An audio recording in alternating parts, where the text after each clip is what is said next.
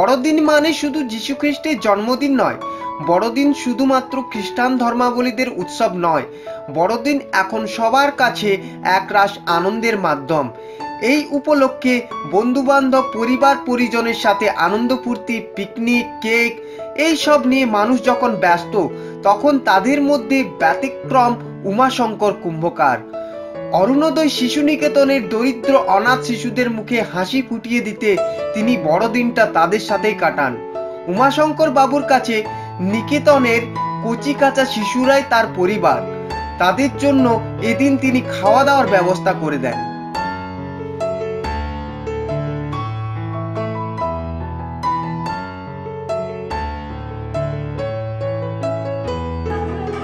খাস খবর বাংলার তরফ থেকে আমরা পৌঁছে গেছি মণিপুর হোমে সেই মণিপুরে আজ পঁচিশে ডিসেম্বর, সেই উপলক্ষে আজ একটা পিকনিক টাইপের একটা আয়োজন করা হয়।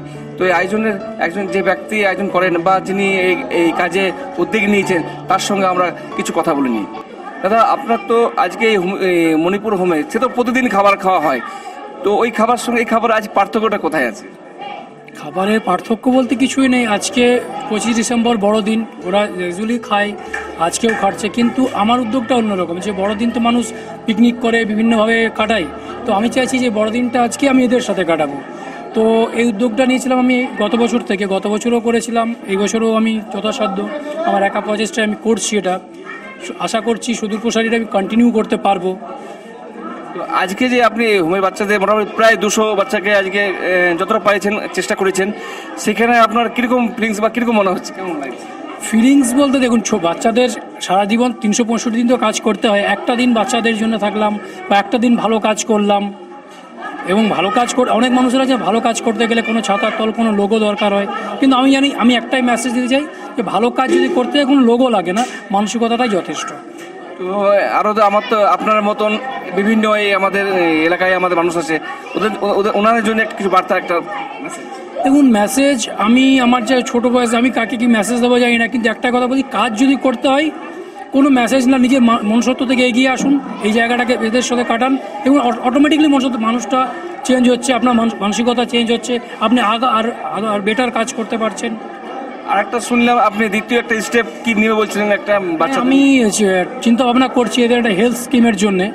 যা বাচ্চাদের কোনো ট্রিটমেন্টের জন্য আমি একটা হেলথ স্কিম সুদূর প্রচারের মধ্যে খুব তাড়াতাড়ির মধ্যে নবদার সাথে বসে একটা আলোচনা করে হেলথ স্কিমটা ফ্রি করব এই ধরনের প্রোগ্রাম কি আপনি নেক্সট ইয়ারও আপনার চিন্তা ভাবনা আছে? হ্যাঁ নেক্সট ইয়ার যদি বেঁচে থাকি তো অবশ্যই আছে। একদম কন্টিনিউ আমি করব। তো আপনার নাম দাদা? আমার নাম হচ্ছে উমাশঙ্কর কুম্ভকারী। বাড়ি হচ্ছে জামদুয়ারা রঘুনাথপুর থানার অন্তর্গত। ধন্যবাদ থ্যাংক ইউ তো এই ধরনের মানুষ এখনও বেঁচে আছে। বেঁচে আছে বলে মানুষত্ব বেঁচে আছে। আমরা চাইব খাস করে বাংলা ওয়ান থেকে প্রত্যেক মানুষকে এই ধরনের সেবামূলক কাজে সবাই এগিয়ে আসুন এবং সবাই হাত হাত বাড়িয়ে দিন। মানে নেই যে দুশো বাচ্চাকে খাওয়াতে হবে। যেটুকু পারা যায় সেটুকু আমরা একটু হাত বাড়িয়ে দিই। খাস খবর বাংলা থেকে হানিফ শেখ।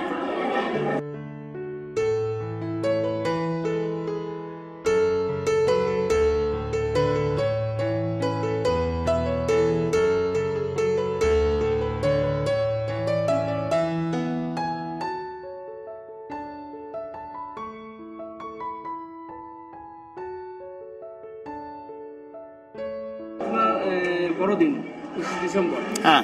সেই বড়দিন হিসেবে আপনাদের সময় কীভাবে আজকে পালিত হবে আমরা প্রতি বছরই বড়দিনটা পালন করি। আমাদের মেয়েরা সমস্ত অ্যারেঞ্জ করে সিএনসিপির বাচ্চারা অ্যারেঞ্জ করে ওরা অ্যারেঞ্জ করেছিল। তো এবারে এসছিলেন সকাল সাড়ে দশটার সময় আমাদের এসডিপিও সত্যব্রত বাবু এবং তার ওয়াইফ ওনারা নিয়ে এসেছিলেন আপনি কেক নিয়ে এসেছিলেন চকলেট নিয়ে এসেছিলেন ভুজিয়া নিয়ে এসেছিলেন। আমাদের হোমে ওনারা আসেন। এসে আমরা সবাই একসাথে মিলিত হই। বাচ্চারা নাচ গান করে, উনিও তার বক্তব্য রাখেন এবং সেই সাথে জিজ্ঞেস করেন বাচ্চাদেরকে যে তোমরা কে কি হতে চাও। তো কেউ বলেছে আমরা মাস্টার হব, কেউ বলেছে আমরা আর্মিতে যাব, কেউ বলেছে মানে শিক্ষকতার দিকে যাওয়ার ইনাট বেশি। এরপরে উনি যেটা বলেছেন যে দেখুন, এই ধরনের বাচ্চাগুলো যে এই যে একটা তাদের উৎসাহ নিয়ে তারা এগিয়ে যাওয়ার দিকে যাচ্ছে, তা যদি কেউ কখনো কোনো অসুবিধায় পড়ে তাহলে কিন্তু আমরা পাশে আছি এবং আপনি আপনার ইয়ের থেকে, হোমের পক্ষ থেকে, যখন যে অসুবিধায় আপনারা পড়বেন, আপনি বলবেন, আমরা সাহায্য করব, আমরা সাহায্যের হাত বাড়িয়ে দিয়েছি। এবং আরও একটা উনি বলেছেন যে, এই যে আটটা যে থানা আমাদের এখানে রয়েছে, সেই থানাতে একটা প্রচার করার কথা উনি বলেছেন যে, আমরা অনেকেই সাহায্য সহযোগিতা করতে চাই। বিশেষ করে দত্তক আমরা নিতে পারব না, কিন্তু পোস্টার কার্ড আমরা নিতে পারি। তো সেইটা আমরা কীভাবে নিতে পারি, তার একটা অ্যাওয়ারনেস প্রোগ্রাম আপনি করুন। আমরা কিন্তু থানায় থানায় আপনাকে এই প্রোগ্রাম করার জন্য আমরা সহযোগিতা করব। তো আজকের বাচ্চারা সত্যব্রতবাবু এবং তার ওয়াইফকে পেয়ে নাচ, গান, আনন্দ, ফুর্তি এবং ওই কেক খাওয়া, ভুজিয়া খাওয়া মাধ্যমে যথেষ্ট আনন্দ লাভ করেছে এবং সবাই যথেষ্ট খুশি, তাকে আমরা আন্তরিক অভিনন্দন জানাই। সেই সঙ্গে আজকে এসছেন আমাদের উমাশঙ্কর বাবু। গত বছর উমাশঙ্কর বাবু এসেছিলেন। উমাশঙ্কর বাবু এসে আমাদের বাচ্চাদের খাইয়ে গেছেন। বিভিন্ন রকমের পদ ছিল, মিষ্টি ছিল, পাঁপড় ছিল, ইত্যাদি ছিল। গতবারে ওনার সঙ্গে আরও দু একজন সাথী ছিলেন। কিন্তু এবারে উনি সম্পূর্ণ একা আমাদের এখানে এসছেন। আমাদের এখানে এসে আজ দুপুরবেলা সমস্ত বাচ্চাদের একসাথে বসিয়ে খাওয়ার মতন একটা অ্যারেঞ্জ উনি করেছেন। বাচ্চারা সবাই যথেষ্ট খুশি এবং পদও অনেক হয়েছে। ভালো লেগেছে বাচ্চাদের। আমরা উমাশঙ্কর বাবুকে ধন্যবাদ জানাই। তিনি যে আমাদের হোমের বাচ্চাদের কথা চিন্তা ভাবনা করে একটা সেবামূলক কাজে এগিয়ে এসেছেন, তার জন্য আমাদেরকে আমরা তাকে আমার পক্ষ থেকে আন্তরিক অভিনন্দন জানাই। সেই সঙ্গে আরও আন্তরিক অভিনন্দন জানাই। উনি একটা প্রস্তাব দিয়েছেন যে আমাদের এই হোমে একটা হেলথ স্কিম উনি করবেন। ওই হেলথ স্কিম যদি উনি করেন, তাতে তো আমরা খুব উপকৃত হব। কেননা আগে আমাদের এখানে সপ্তাহে বলব না, প্রতি পনেরো দিনে আমার সুপার স্পেশাল হসপিটাল থেকে দুজন ডাক্তারও আসতেন দেখে যেতেন। কিন্তু এখন প্রায় সেটা বন্ধ হয়ে গেছে।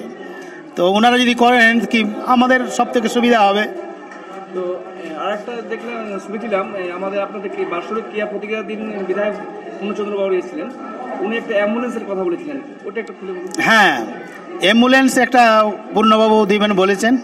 আমরা অ্যাম্বুলেন্স উনিশশো আশি সাল থেকে চাইছিলাম বিভিন্ন জায়গায় প্রশাসনিকভাবে রাজনৈতিকভাবে বিভিন্ন ক্ষেত্রে আমরা অ্যাম্বুলেন্স খোঁজার চেষ্টা করেছি। সেই সময় অনেক কুষ্ঠরোগীদের প্রতি ঘৃণা ছিল। কেউ কোনো গাড়ি দিত না, কেউ নিয়ে যেতে চাইতো না। খুব কষ্টে আমরা হাসপাতালে নিয়ে যেতাম। হাসপাতালে ডাক্তারও ভালো করে দেখতো না। আমাদের অ্যাম্বুলেন্সের প্রয়োজন প্রচণ্ড ছিল, কিন্তু আমরা অনেক চেষ্টা করেও আমরা পাইনি। কিন্তু এইবারে বাৎসরিক প্রতিযোগিতায় আমাদের মাননীয় বিধায়ক সাহেব এসছেন, এসে খেলাধুলা উপভোগ করেছেন এবং সেই সাথে কুষ্ঠরোগীদের, বাচ্চাদের দুর্দশার কথা অসহায় বাচ্চাদের কথা বিচার বিবেচনা করে উনি দেখলেন যে এখানে আমাদের অ্যাম্বুলেন্স নেই। তো অ্যাম্বুলেন্স দিলে বাচ্চারা যে আরও স্বাস্থ্য পরিষেবাটা ভালো পাবে এবং হঠাৎ করে কোনো অঘটন ঘটলে সেটার পরিষেবা দেওয়া যাবে সেই চিন্তা ভাবনা করে উনি আমাদের এখানে একটা সম্পূর্ণ হোমের জন্যেই একটা অ্যাম্বুলেন্স উনি প্রদান করেছেন।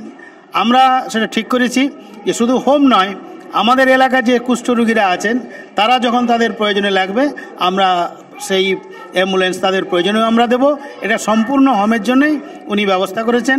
তাকে আমরা আন্তরিক অভিনন্দন জানাই যে এতদিন পরে হলেও উনি আমাদের এখানে এসে এই অ্যাম্বুলেন্স প্রদান করার মতন চিন্তা ভাবনা করেছেন। কুষ্ঠরোগী এবং তার ছেলে মেয়ে এবং অন্যান্য ছেলেমেয়েরা যাতে চিকিৎসা নিতে পারে এবং সুচিকিৎসা পায় হঠাৎ দুর্ঘটনা থেকে ইয়ে করতে সুযোগ পেতে পারে তার যে চিন্তা ভাবনা করেছেন তার জন্য আমরা তাদেরকে সাধুবাদ জানাই। আপনার নাম আমার নাম হচ্ছে নবকুমার দাস। আমি সাধারণ সম্পাদক মণিপুর লেপ্রসি রিভেশন সেন্টার। ধন্যবাদ। দুর্গা টেলিকম, বিভিন্ন কোম্পানির মোবাইল হ্যান্ডসেট কেনার একমাত্র বিশ্বস্ত দোকান দুর্গা টেলিকম।